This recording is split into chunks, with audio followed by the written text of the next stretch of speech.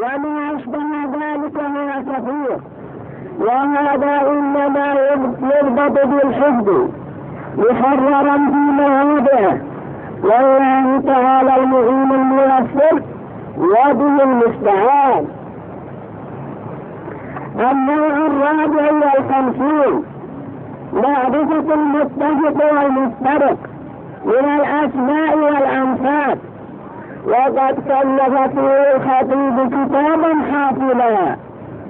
وقد ذكره الشيخ أبو عمرو أقساما أحدها أن يتفق اثنان أو أكثر في الاسم. واسم الأب.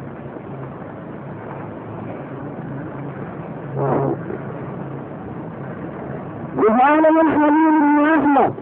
ستة صار يا أخوان المتفق المشترك هو الذي نتولى فيه لأنه اتفقت اتفقت يعني في اللفظ واختلفت في المسميات.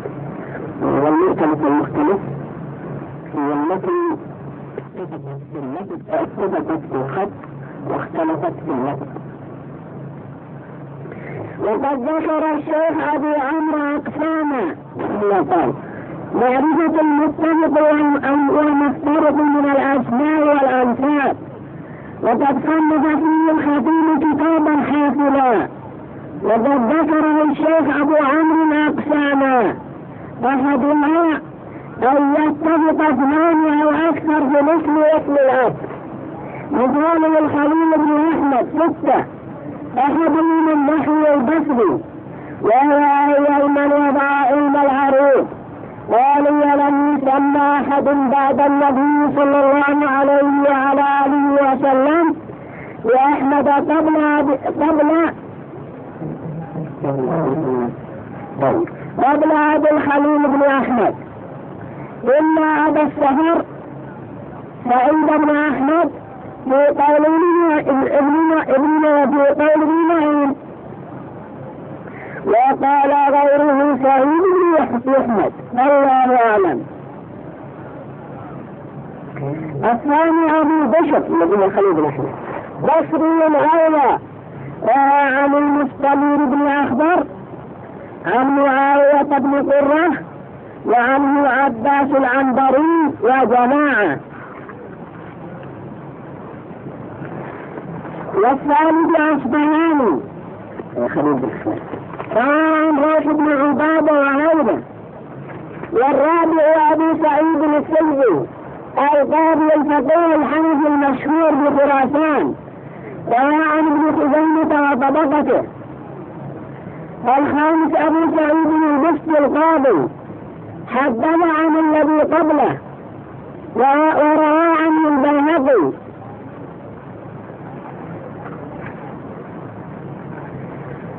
السادس أبو سعيد البسط أيضا شافعي.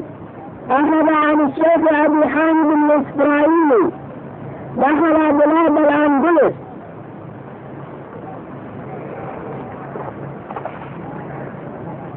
القسم الثاني أحمد بن جعفر بن حمدان. أربعة. القضيعي ورئيس عن عبد الله بن أحمد. والبصري والضينوي والطرشيسي اخوان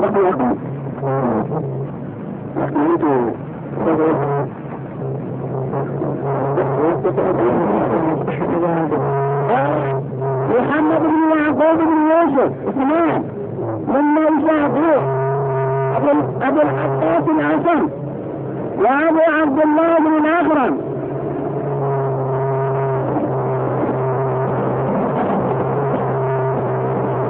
رانا الدولي اثنان عبد الملك بن حبيب تابعي وموسى بن سهل وروي عن يسار بن عروة.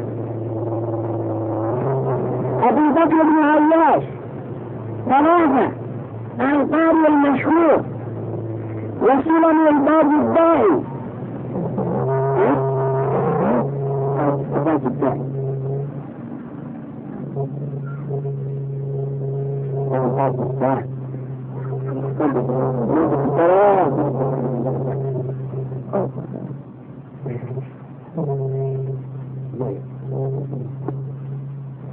صاحب غريب الحديث توفي سنة أربع ومئتين وآخر خمسين مجهول.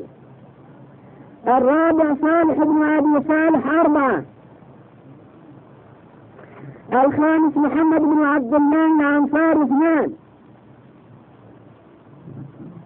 أحدهما المشهور صاحب الجزء وهو شيخ البخاري والآخر ضعيف يقنى بأبي سلمة. وهذا باب واسع. كبير كثير الشعب يتحرر بالعمل والكشف عن الشيء في أوقاته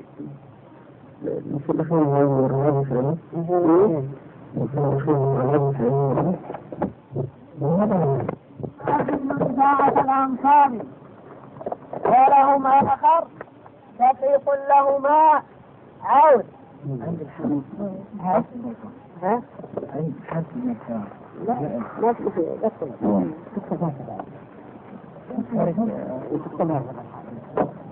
ويقال عون. وقيل عون والله أعلم.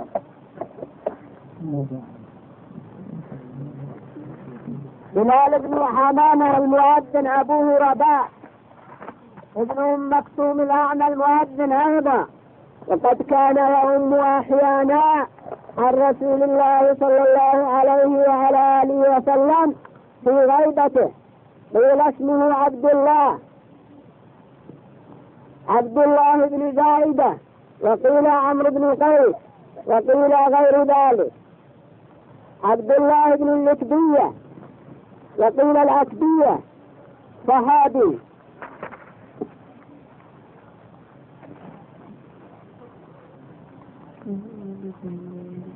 نعم سهيل بن بيضاء وأخوه منها سهل وصفوان واسم بيضاء بعد واسم أبيه وهب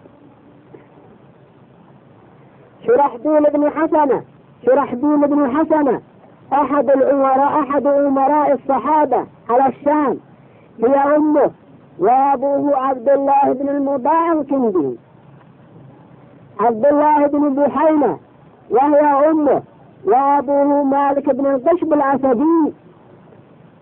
سعد بن حبكة هي أمه وأبوه بجير بن معاوية. ومن التابعين فمن بعدهم محمد بن الحنفية واسمها خولة وأبوه أمير المؤمنين علي بن أبي طالب. إسماعيل بن علية هي أمه وأبوه إبراهيم وهو أحد أئمة الحديث والفقه ومن ومن كبار الصالحين. من أحمد بكر إسماعيل بن إبراهيم الزهلي كلام منسوب له هذا من دخل إبراهيم بن علي. طيب. منسوب طيب. قلت فأن ابن إليه الذي وقيل غير ذلك لكن هذا الذي هنا موجود. إن شاء الله تراجع قلت ابن إليه الذي يعزو إليه كثير من الفقهاء فهو إسماعيل بن إبراهيم. هذا وقد كان مبتدعا يقول بخلق القرآن. لا واحد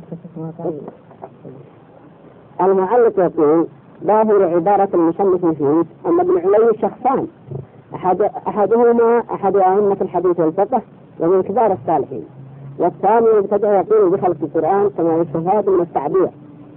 فأما التي بالتفسير فأم- فأما التي بالتفسير والتنويع وكذلك يستفاد ذلك من اختلاف أوصاف ما يقول أما. ما قبلها الأما وما بعدها والذي في الميزان والتهديد أنه شخص واحد. إمام بدت من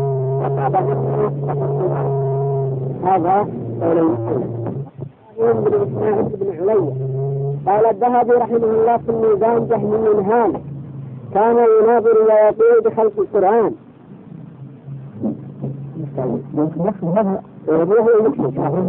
طيب عندك عندك ترجمة الميزان هالك قال قلت فأما ابن علي الذي يعزو إليه كثير من الفقهاء فهو إسماعيل بن إبراهيم هذا وقد كان مبتدعا يقول بخلق القرآن. انتهى. عرفتم أنه إبراهيم. وهذا إبراهيم. تكتبون عليه يا أخوان. كما في أحسن. إسحاق. إبراهيم بن هراسة قال الحافظ عبد الغني بن سعيد المصري هي أمه واسم أبيه سلمة. ومن هؤلاء من قد ينسب إلى جدته كيعلى بن منية قال الزبير بن بكار هي أم أبيه أمية. يعني فهو يعلى بن أمية. وبشير بن الخصاصية اسم أبيه معبد. والخصاصية أم جده الثالث قال الشيخ أبو عمرو ومن ومن ومن أحدث ذلك عهدا شيخنا أبو أحمد عبد الوهاب بن علي البغدادي يعرف بابن سكينة وهو أم أبيه. قلت وكذا شيخنا العلامة أبو العباس بن تيمية هي أم أحد أجداده الأبعدين. وهو أحمد بن عبد الحليم ابن عبد السلام ابن أبي القاسم ابن محمد بن تيمية الحراني. ومنهم من ينسب إلى جده كما قال النبي صلى الله عليه وعلى آله وسلم وهو راكب على البغلة يركضها إلى نحر العدو وهو ينوه باسمه يقول أنا النبي لا كذب. أنا ابن عبد المطلب. وهو رسول الله محمد بن عبد الله ابن عبد المطلب. وكأبي عبيدة بن الجراح وهو عامر بن عبد الله بن الجراح الفهري أحد العشرة. وأول من لقب بأمير العمراء بالشام. وكانت ولايته بعد خالد بن الوليد رضي الله عنهما.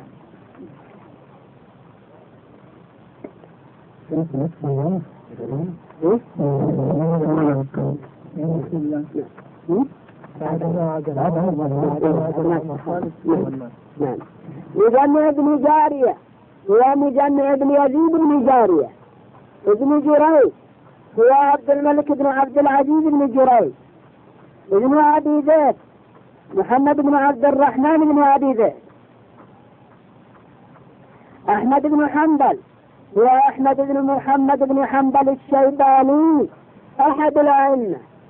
أبو بكر بن أبي شيبة هو عبد الله بن محمد ابن أبي شيبة إبراهيم بن عثمان العبسي صاحب المصنف وكذا أخواه عثمان الحافظ والقاسم.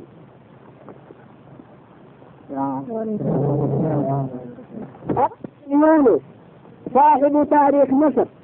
هو عبد الرحمن بن أحمد بن يونس بن عبد الأعلى الصدفي. وممن نسب إلى غير أبيه المقداد بن الأسود وهو المقداد بن عمرو بن ثعلبة الكندي البهراني والأسود هو ابن عبد يغوث الزهري. وكان زوج أمه وهو ربيبه فتبناه فنسب إليه. الحسن بن دينار هو الحسن بن واصل ودينار زوج أمة. وقال ابن أبي حاتم الحسن بن دينار بن واصل.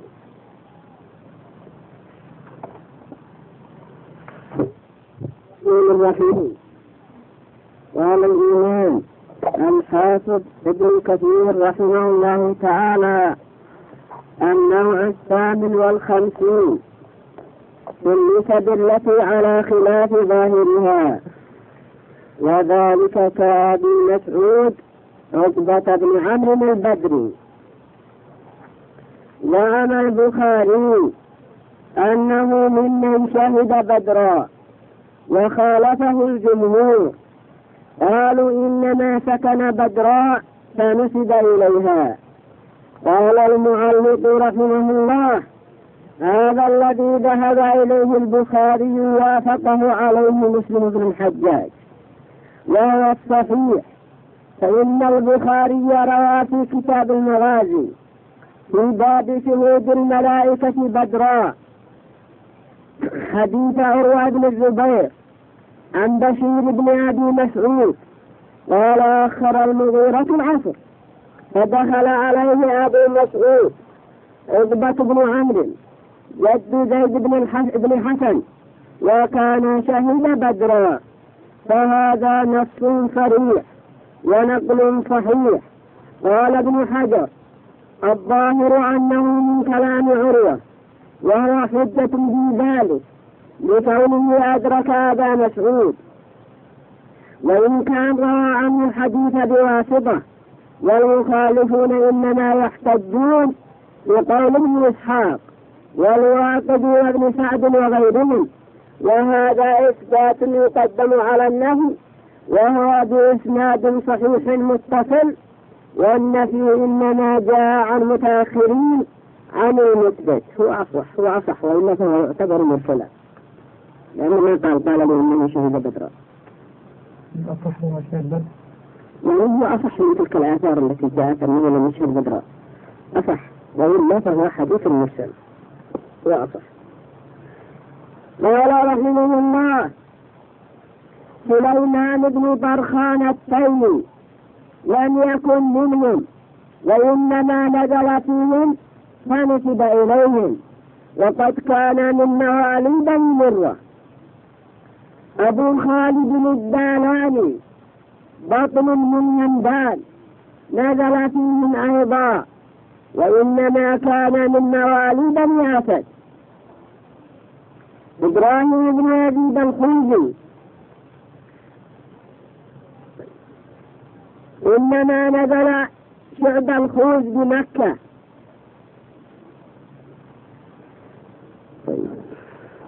عبد الملك بن أبي سليمان العرزمي وهم بطن من هزارة نزل في جبانتهم بالكوفة. محمد بن سنان العواطي. الذي عند العواطي صلى يا أخوان بطن من بني عبد القيس وهو باهني لكنه نزل عندهم من بصرة. نعم. العواقب ولا العواقب؟ العواقب نعم. مثل العواقب لكن أنا عندي العواقب أحمد بن يوسف السلمي. شيخ مسلم. أحمد بن يوسف السلمي. شيخ مسلم هو عزيز ولكنه نسب إلى قبيلة أمه وكذلك حفيده أبو عمرو إسماعيل بن زيد السلمي حفيد هذا أبو عبد الرحمن السلمي الصوفي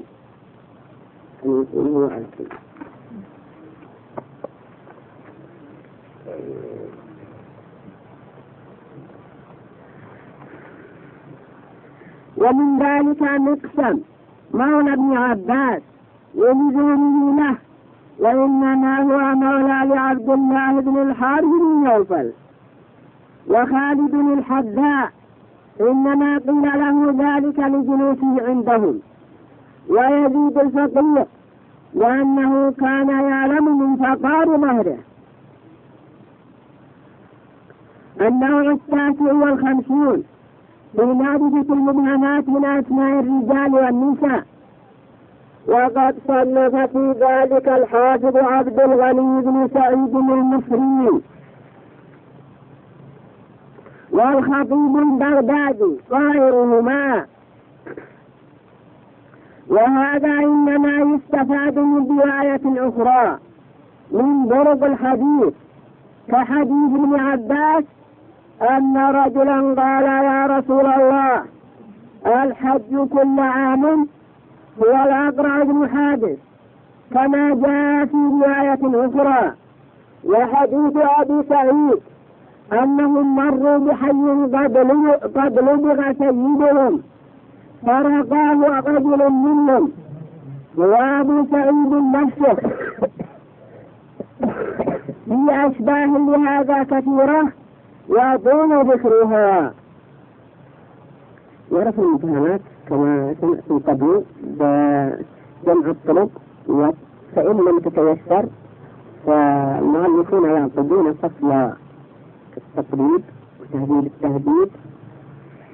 يعقدون فصلا وهو أن تنظر لله قبله في فصل المبهمات عن رجل فإن كان معروفا لديه قالوا الرجل هو فلان قال وقد اعتنى ابن العثير في أواخر كتابه جامع الأصول بتحريرها ما رأينا يعني آخر آخر جامع الأصول مثل هذا ها؟ الشيخ محي الدين كتاب الخطيب في ذلك نعم ولا يشمل الإشارات إلى بيان أسماء المبهمات وهو فن قليل جدوى بالنسبة إلى معرفة الحكم من الحديث ولكنه شيء يتحلى به كثير من المحدثين وغيرهم. بل بل مهم. لأنه إذا كان مفهما صار الحديث ضعيف. وإذا عرف إما أن يكون ضعيفا حديث قسم ضعيف وإما أن يكون ثقة فيكون الحديث من قسم الصحيح أو حسن أو الشديد من قسم الحسن وأهم ما فيما رفع إبهاما في إسناد كان إذا ورد في سند عن فلان بن فلان أو عن أبيه أو عمه أو أمه فوردت تسمية هذا المبهم من طريق أخرى فإذا هو ثقة أو ضعيف أو من أو من ينظر في أمره فهذا أنفع ما في هذا من فوائده أنها ربما وجدت قصة فيها جفاوة آه، من من شخص إلى رسول الله صلى الله عليه وسلم. فبتتبع تلك القصة التي فيها رجل مبهم ربما يظهر أنه أعرابي ذاتي ويحتمل الجفاوة من الأعراب ما لا تحتمل من خلص الصحابة وربما كان منافقا أي ذلك من الرجل الذي كان مفهما وربما بارك الله فيكم كان فيها فضيلة آه، لرجل مبهم وبمعرفة من هو هذا الرجل المبهم تعرف يعرف صاحب الفضيلة.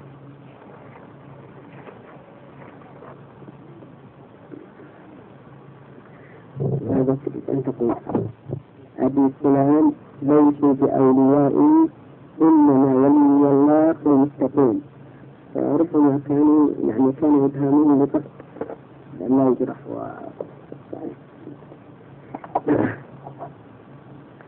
النوع الموافق في الدين معرفة وفيات وهيات معرفة وفيات الرواة أنا أعرف وفية ومواليدين ومقدار أعمارهم يعرف يعرف من أدركهم ممن لم يدركهم من كذاب أو مدلس فيتحرر المتصل والمنقطع وغير ذلك من هذا.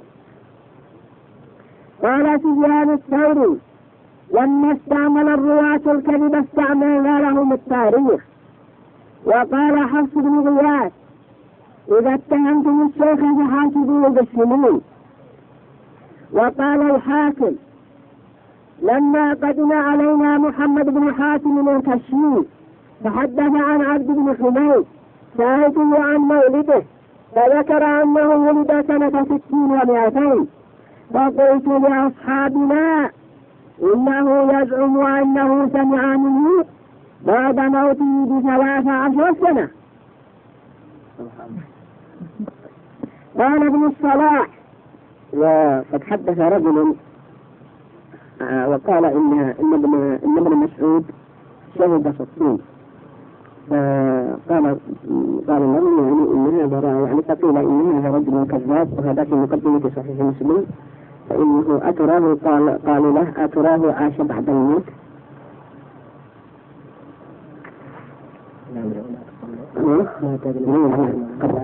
قال ابن الصلاح.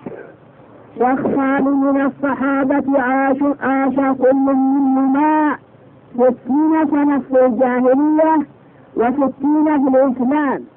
وهما حكم بن حزام وحسان بن ثابت رضي الله عنهما. وحكي عن ابن إسحاق أن حسان بن ثابت بن المنذر بن حرام عاش كل منهم 120 سنة. قال الحافظ أبو نعيم ولا يعرف هذا لغيره من العرب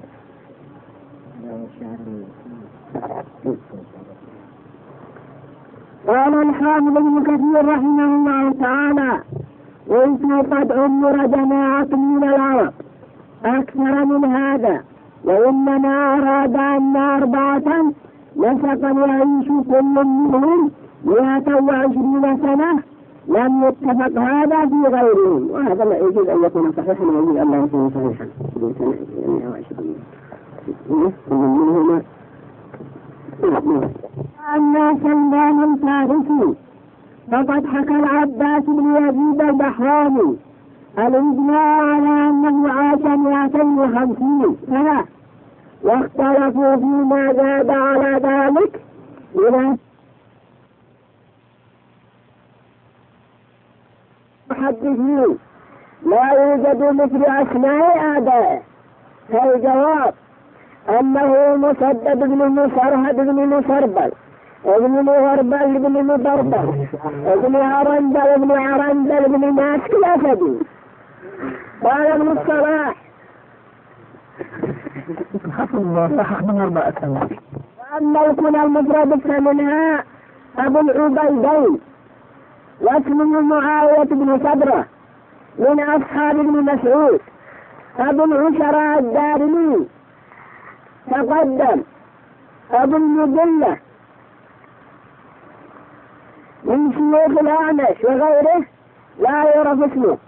وزعم أبو نعيم الأصبهاني أن اسمه عبيد الله ابن عبد الله المدني أبو مراية العجلي. عبد الله بن عمرو أبو مراية العجلي طيب.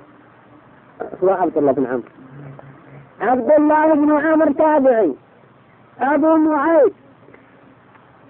الجو في الصف نعم.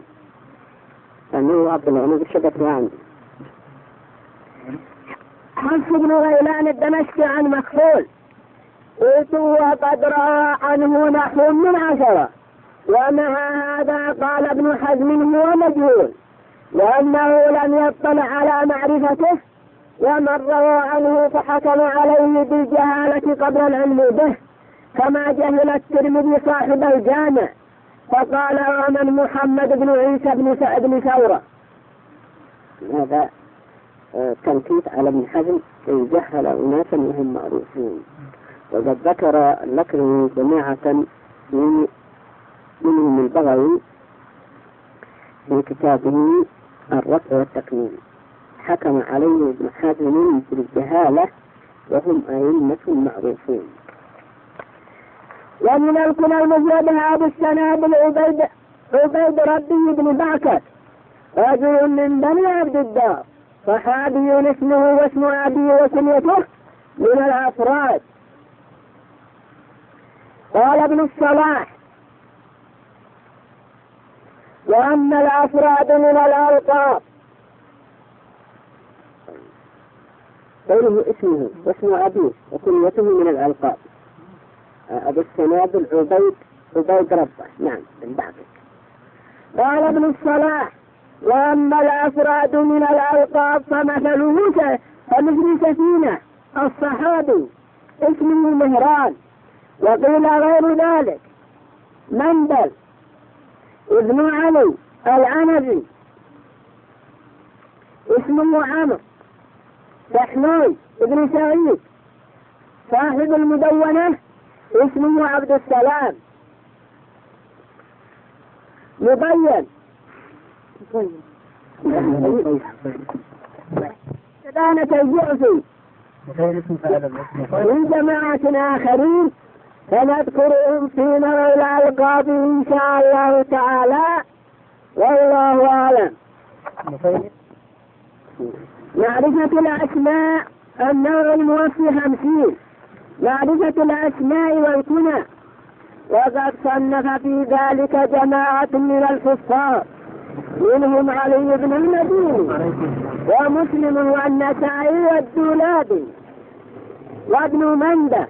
والحاكم وابو أحمد الحافظ أبو أحمد الحافظ وكتابه في ذلك يفيد جدا كثير النفع وطريقتهم طيب وقد قال معرفة الأسماء والكنى.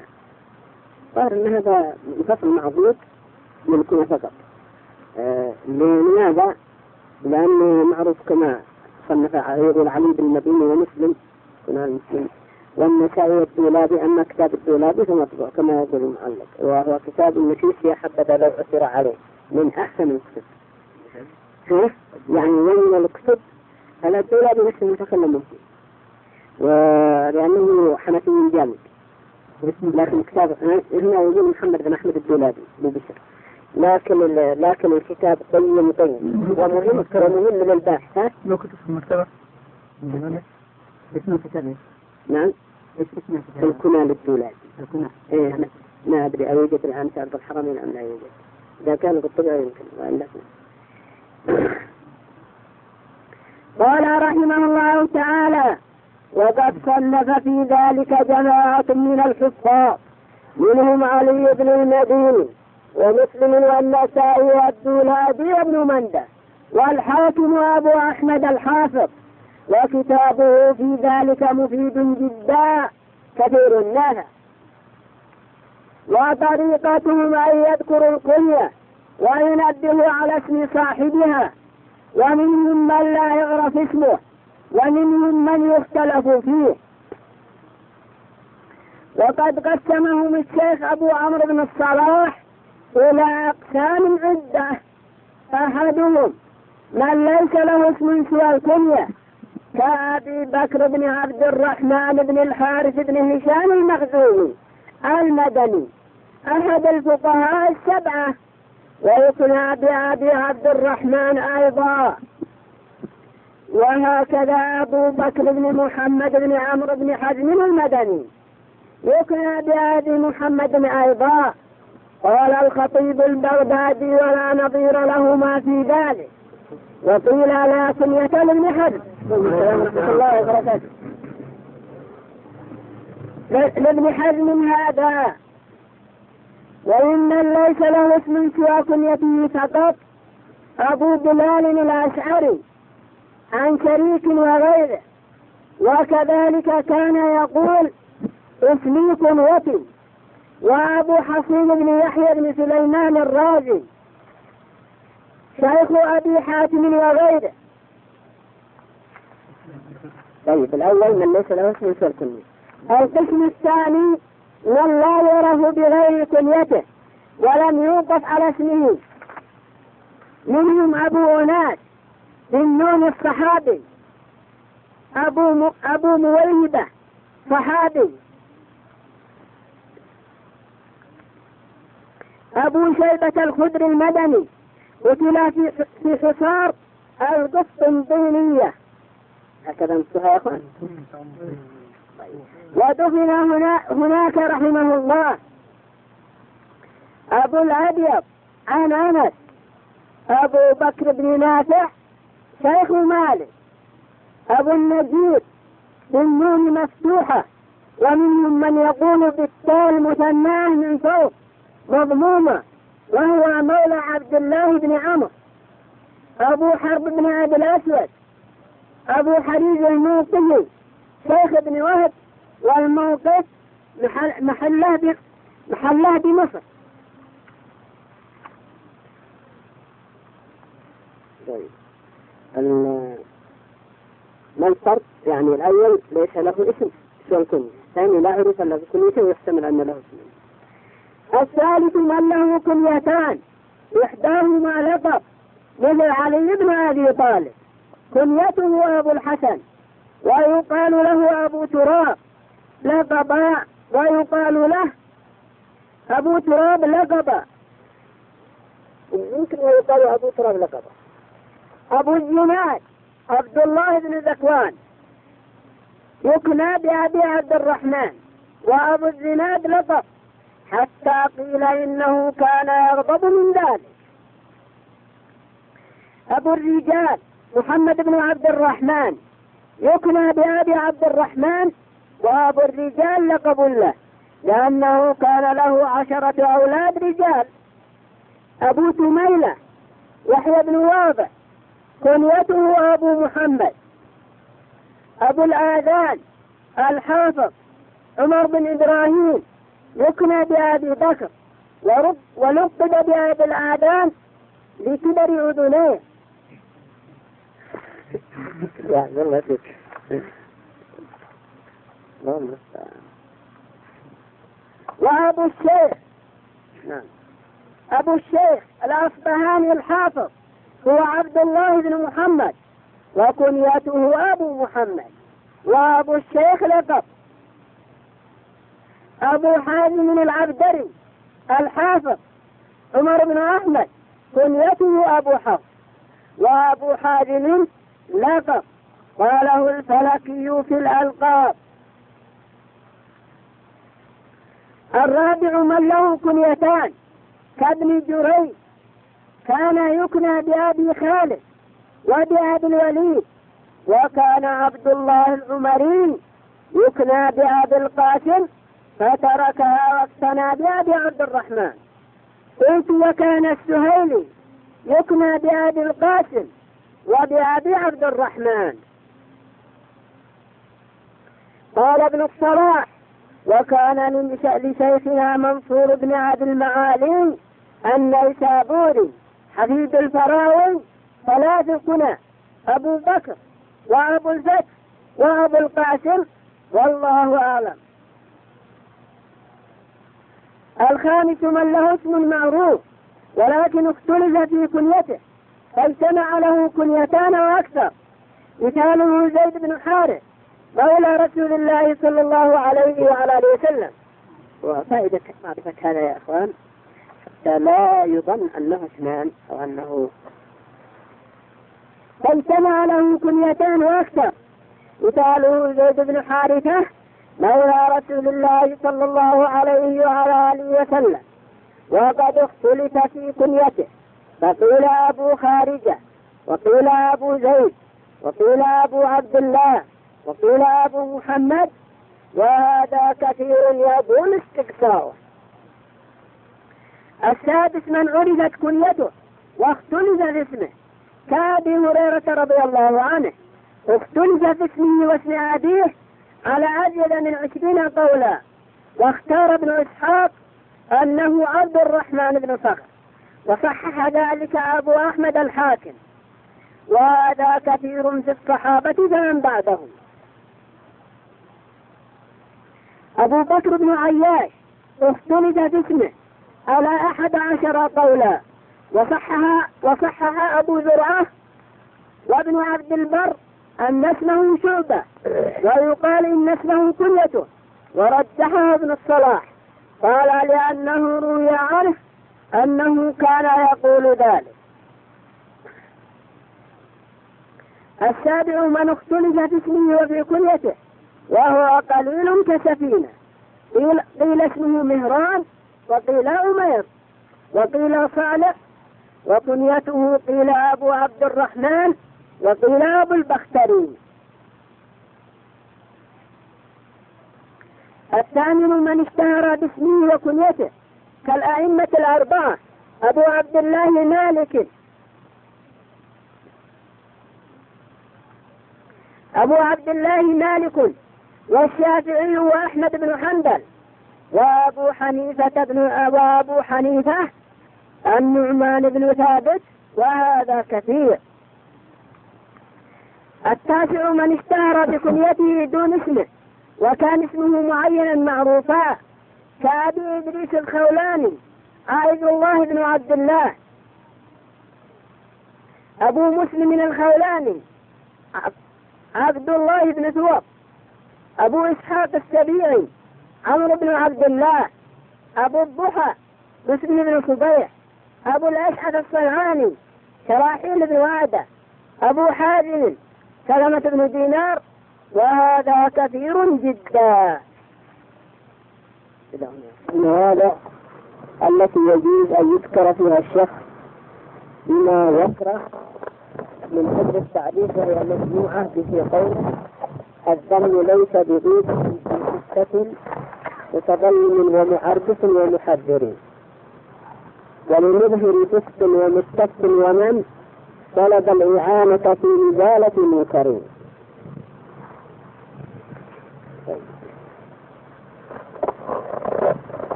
قال الحافظ عبد الغني بن سعيد المصري رجلان جليلان لازمهما لقبان قبيحان. معاوية بن عبد الكريم الضال. وإنما ضل في طريق مكة.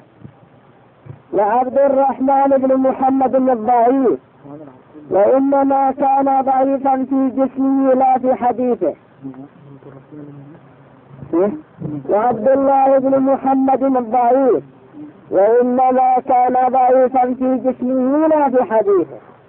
قال ابن الصلاح وثالث وهو عار أبو النعمان محمد بن الفضل السدوسي. وكان عبدا صالحا بعيدا من العرامة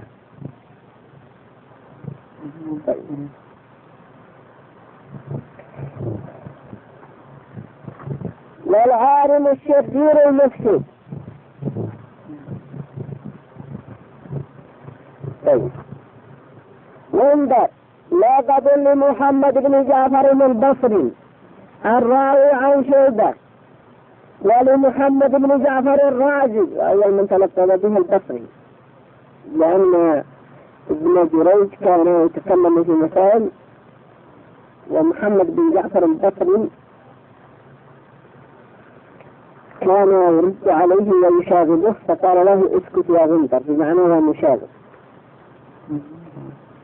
قال رحمه الله تعالى ولمحمد بن جعفر الرازي روى عن أبي حاتم الرازي ولمحمد بن جعفر البغدادي الحافظ الجوال. شيخ الحافظ شيخ الحافظ شيخ الحافظ ابي نعيم الاصفهاني وغيره. ولمحمد بن جعفر بن دران البغدادي وعن أبي خليفة الجمحي ولغيرهم. وانجار لقب عيسى بن موسى التميمي ابي أحمد البخاري وذلك لحمرة وجنته وجنتيه وعن مالك والثوري وغيرهما وغنجار آخر متأخر وهو أبو عبد الله محمد بن أحمد بن أحمد البخاري الحافظ. صاحب تاريخ البخارى توفي سنة ثنتي عشرة وأربعمائة وأربعمائة. فائقة. لقب به محمد بن عبد الرحيم شيخ البخاري لقوة حفظه وحسن مذا وحسن مذاكرته.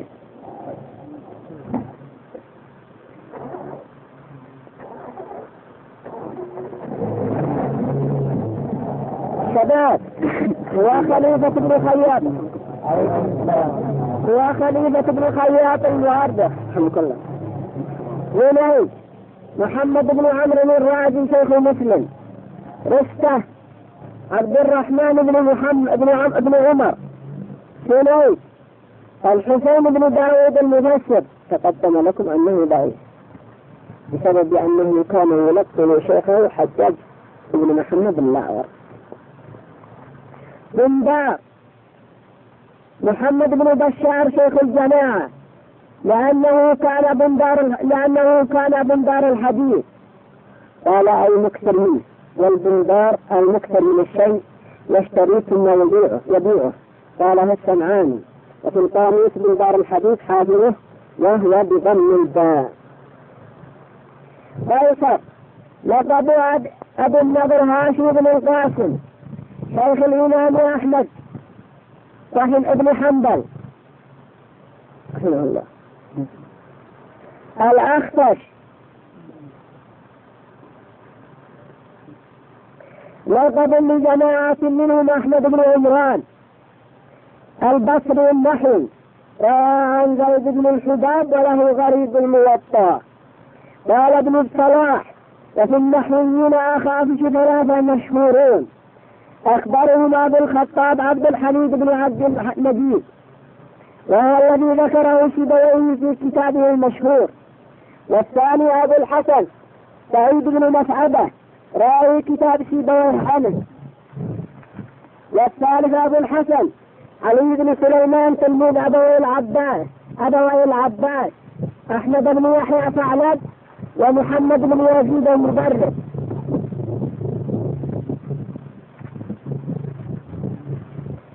مربع لقب محمد بن إبراهيم الحافظ البغدادي جمرة صالح بن محمد بن الحافظ البغدادي. كيلجة محمد بن صالح البغدادي أيضا. ما غمه علي بن الحسن بن عبد الصمد البغدادي الحافظ. ويقال على ما غمه فيجمع له بين لقبين. عبيد العجل لقب أبي عبد الله الحسين بن محمد بن حاتم البغدادي الحافظ أيضا. قال ابن الصلاح وهؤلاء البغداديون الحفاظ كلهم من تلامذة يحيى بن معين وهو الذي لقبهم بذلك. حتى عبيد العجل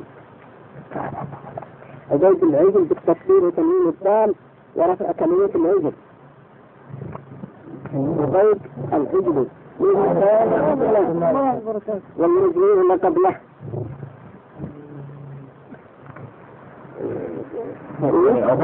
العجل وهؤلاء البغداديون الحفاظ كلهم من تلامذة يحيى بن معين وهو الذي لقبهم بذلك سجادة الحسن بن حماد من أصحاب وكيع والحسين بن أحمد شيخ بن عدي عبدان لقب جماعة ومنهم عبد الله بن عثمان شيخ البخاري فهؤلاء ممن ذكره الشيخ أبو عمرو واستكفاء ذلك يطول جدا والله أعلم.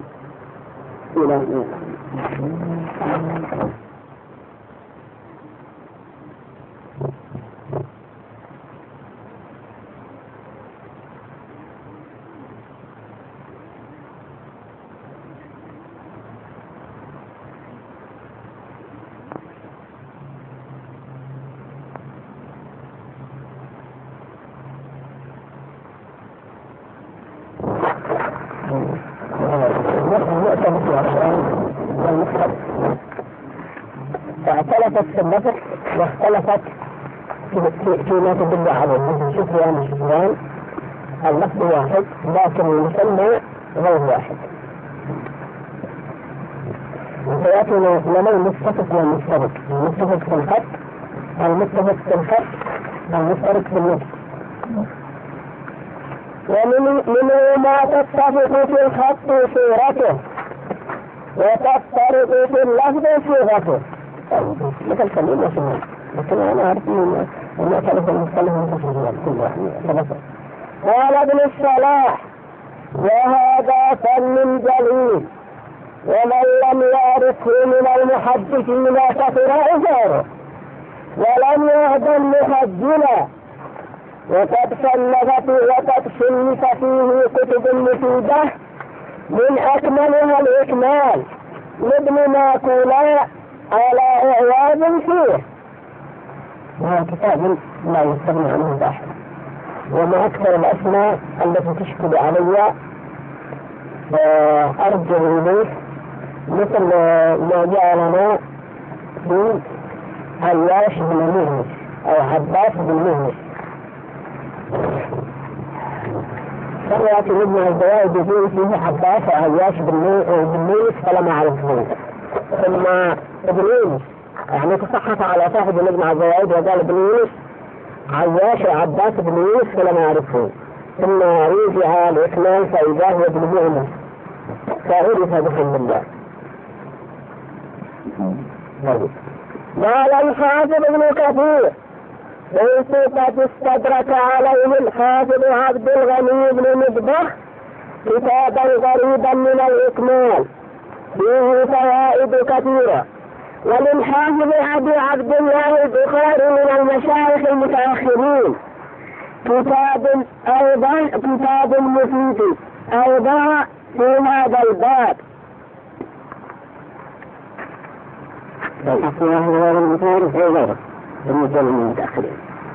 قال ومن أمثلة ومن أمثلة ذلك سلام وسلام وأمارة وأمارة وحزام وحرام. عباس عياش. غمام عسان. بشار وفاق. بشر بشر. بشير مصور مصور حارثة جارية. ظهير حرير. حبان حي حيا حيا حيان